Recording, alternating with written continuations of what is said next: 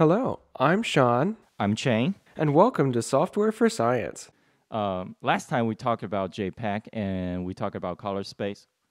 Um, what's it called? Color space, quantization, and blocks. So what we're going to do today?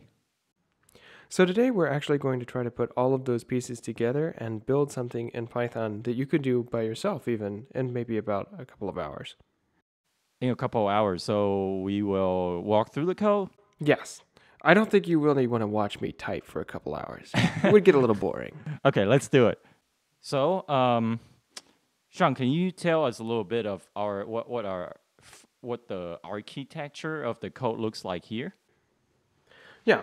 So the direction we're going with this in the end is we want to have a series of codecs. So that is, we have these uh, these uh, layers or shells where we're going to have both an input and an output or encoder decoder pair. Um, and those decoders and encoders are going to be for uh, for converting the color space, which we'll skip in this case, but you you would know that they're there. Then the blocking, um, reading a file or writing a file. You have uh, quantization, converting DCT, um, and compression, uh, or rather lossless compression, uh, as the last step. So they don't come in that order, but and you get the idea that you could actually um, uh, apply these in different orders and you'd get different algorithms. But we'll go over the uh, general sequence as they would be implemented for something like JPEG. I don't want to go all the way into JPEG because then you'd spend a whole lot of time on reading standards and all that, and that's not really the point. We would just want to get an idea of what would it feel like to make that kind of thing in Python. So in our first part of the code, uh, we want to start by doing the blocking. Do you want to explain what are we trying to do here? Yeah, yeah, sure. So you see, when you're looking at a um, when you're looking at a, um, a plain image, you have uh, nothing in frequency space, but you have exact locations, right? So you know the precise pixel that that uh, that that signal was found, but you don't know anything about its frequency. But if you encode the whole image at once, you have exactly the opposite problem. You know precisely what frequencies were involved, but now you have no idea where they are. So you would have to encode it with perfect precision in order to still get the same image back. So the way that we make a compromise between those two is blocking it. We break it into very small pieces and then get signal information over those small pieces. And now we know a little bit about location, a little bit about frequency, and we can throw out some of that frequency. If I um, when I look at the code, I see a bunch of 16s. What are those 16s in the code when you when you do the blocking? So that's actually the block size. It's arbitrary, but it needs to be something pretty small. 16 is actually a pretty large block size. Um, I think a typical size would be like 8, and you could have 4. Does that mean that when I see 16, I'm imagining that my block would be 16 by 16 pixels? Yes, that's correct. So they're the number of pixels. yes. So the next one, uh, next part of the function here, we have two functions that does the DCT. Uh, it if it's from the, looks like they're from the package SciPy. Do you want to explain a little bit what we're trying to do here? Yeah, I don't want to implement DCT not- myself. Let's, let's not implement DCT, but Yeah. what, what is going, uh, why do we need DCT? Oh, so we need DCT because that's our method in this case for converting from uh, location information to signal information. I mean, uh, frequency information. So we want to move into frequency space, and DCT is a way to do that. You could use all kinds of different uh, FFTs. So any Fourier transform might be able to do this, but a discrete cosine transform is best suited for this particular method.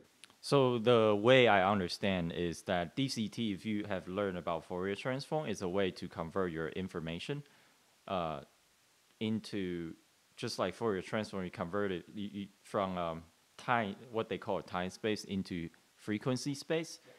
But DCT, which discrete con, uh, cosine transform, means we're doing a discrete Fourier transform, and we're only taking the real part, not the imaginary part of it. We, which we might go into more detail because explaining high frequency might takes a while. But let's look. We'll, we'll look at the implementation uh, today. Yeah, I think you'd probably be better suited for explaining the difference between those than I do. I mean, I run the algorithm, but I only know a little bit about what it actually does.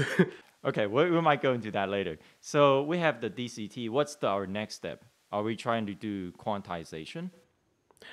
Uh, so yes, um, the next step from this is usually quantization, and the reason we'd want to do that is because now that we have things in a somewhat uh, time, somewhat frequency space, we would like to throw out the high frequency uh, information within each of those blocks. Um, and why not right after you just made it? You know, no sense in carrying that stuff around. Um, so the way a quantizer does that, which you can find in more detail in other videos, is simply by using the um, the truncation of uh, rounding to the nearest integer, um, which is it's super simple. It's actually just multiplication and division. Um, but the point is that it gives you control over what you'd like to keep and what you'd like to lose on a frequency basis for each block. Uh, in in the quantizer, how uh, what I what I saw is like we're converting float. It looks like we're converting the float into an integer, 8-bit integer. If I want to use a more coarse quantizer or like throw more stuff into the same or reduce the number of bins in this case. I don't want to use all the integer. How would you do that? So uh, the best way to do that actually is just to raise the quantizer, which um, you can do any kind of you know, polynomial or whatever fancy stuff you'd want to do. But the trivial way is just multiply your quantizer. So the larger your quantizer is, the less data you're keeping. So if you just said multiply my quantizer by two, that would be actually a, a pretty drastic reduction. Um, but maybe you want to do that. You'll reduce your bit rate. So now we have the quantizer and we have the blocks. Uh, we're not we're skipping color space. How do we put all this together? Like uh, as in the last part of the code, how we uh, what what what is going on here? Okay, so now that now that we've done quantizing, we'd like to actually reduce the amount of information there. Um, right now, we didn't actually reduce the space. We just now have a lot of zeros. Um, so instead, it would be better if we took that uh, that information now that's covered in zeros and uh, and compress it. We could do it with any lossless compression algorithm. Even some degree of loss might be okay. Um, so they actually do it, I think, with RLE or run length encoding, and that's because the biggest thing to them is just get rid of the zeros. Um, but here it's trivial for us to just use zlib. So I just did zlib, encode, decode, or inflate, deflate, whatever you would like. Um, zlib, zip, gzip, any of those things where you're going to get the same thing back out, that would work. So before we uh, run the code, can you go from top to bottom? So we have a few components here. Can you speak of the large component in the code again? Yeah, sure. So we have layers to this, right? We have a whole bunch of codecs that we've set up in a pipeline. And there, because there's um, encoders and decoders, it's really kind of two pipelines, right? Okay, so the first thing we're going to do is read that stuff off of the disk. We want to actually get the bit stream out of there, and we want to convert it back into a set of pixels. I know, in a, in the real world, you would go all the way from every little bit. I don't want to do that. This is just about you know for fun. So let's take that JPEG and convert it into images immediately, and then we'll go through the process of encoding. Right? Okay. So we'll we'll pretend when we read the file that was just one step. Right, then after that, we're going to go break it into blocks. Then after that, we're going to go find the uh, the frequencies for each of those little blocks. Then uh, in the next step, we're going to go quantize for every one of those blocks. So that is, we're going to go throw out some of that information. Then, after we've thrown out some of that information, we've just been left with a bunch of zeros, and we use some kind of algorithm in order to compress those zeros, which is super easy to do. So we'll put that through like zlib or something. And then, in order to decompress, we go through that whole process backwards. So first we just put the zeros back in, we undo the quantizer, which doesn't get us back all the information, just something pretty similar. Then after that, we're going to go through um, through pasting those blocks back into a single image, which is actually kind of fun if you got to see it uh, break. So anyway, different tone. Um, so after that, you got your your image, and you might want to like display it on a page or print it out. I don't I don't know, but that would be your last step. Um, Interestingly, you've probably already understood to some extent what all of this does. And the reason you probably know that is because your um, your TV channel, if you have over the air, I guess I do, but I, I don't take it for granted that everybody does. Um, if you do, you'll notice that it breaks, right? And it breaks in such interesting ways, right? When you look at, at analog television and and then it gets distorted, you can see what's really happening is that it's losing tracking, right? So but for digital, it's way more fun. So for for digital situations, you can see little squares will end up going missing, or they'll turn green, or they'll have some bizarre pattern in them. Right? It's because there was an error in that block somewhere, and now everything about that particular block is probably destroyed by a broken component. So when that happens, you can see it affecting each one of those. Right? So I mean, you know that it works on little blocks, that it has frequencies, right? Because it wasn't like there's one hot pixel in there. Instead, it warped the whole thing, right? So you can see that's what's going on. And now just you had an opportunity to make it yourself. So now we have the output. We have the before image on the left and the after image on the right.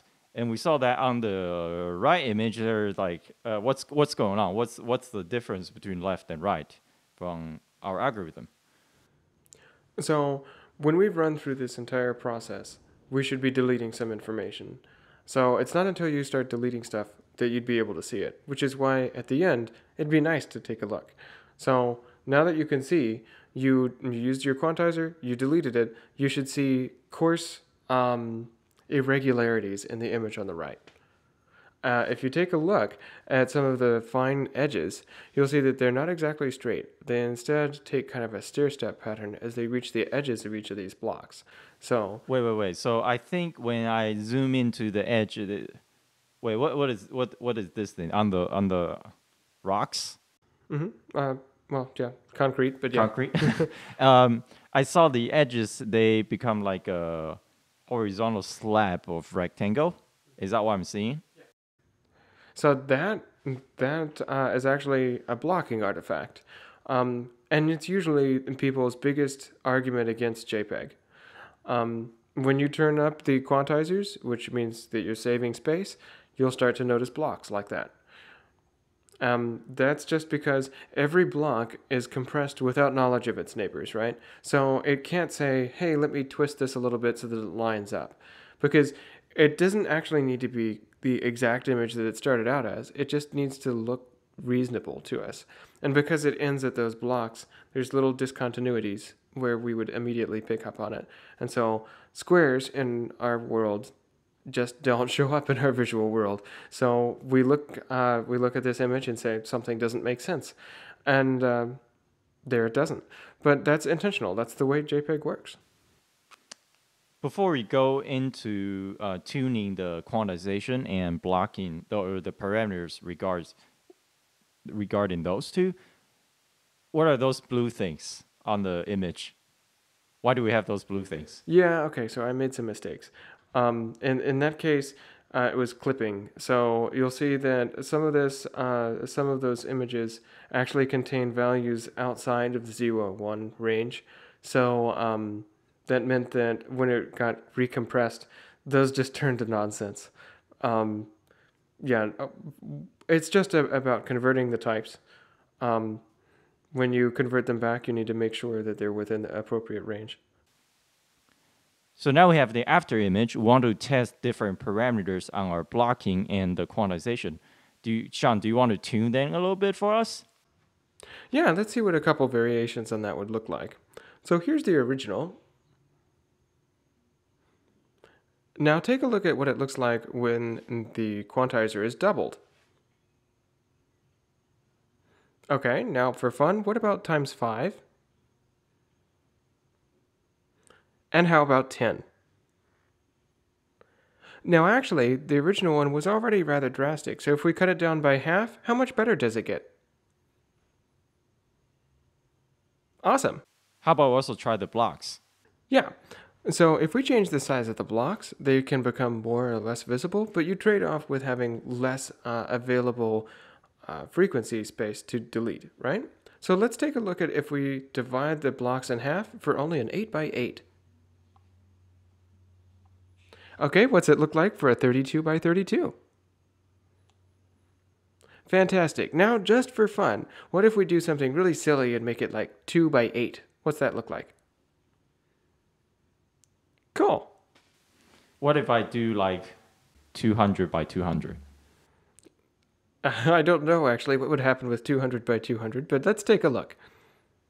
Okay, so now that we've looked at how JPEG works for 2D images, how can we use this in our science or any other uh, application somewhere else? So it seems like one cool place would be if you wanted to do it with three or four or five dimensional data. DCT doesn't care. Quantizers don't care. We can try it. So, um, would you use that in data science? What, what would, wh- which, where in data science would you use this type of uh, concept? So it doesn't have to just be used for images. You could use it for time series data, for example. Um, you can use it in, uh, say, forecasting or something like that, or if you wanted to look historically, um, because it can help improve the uh, quality data that you get for the bit rate that you're paying, right? And a lot of places, it may be more important that you get an answer quickly than to get exactly the right answer. So that means, although we're learning JPEG, we can probably use that to make better forecasts. Or make them faster. Either way. Or, or maybe not, but it's worthwhile to try. Yeah, yeah. The whole point is is to try. That's science, right? You experiment.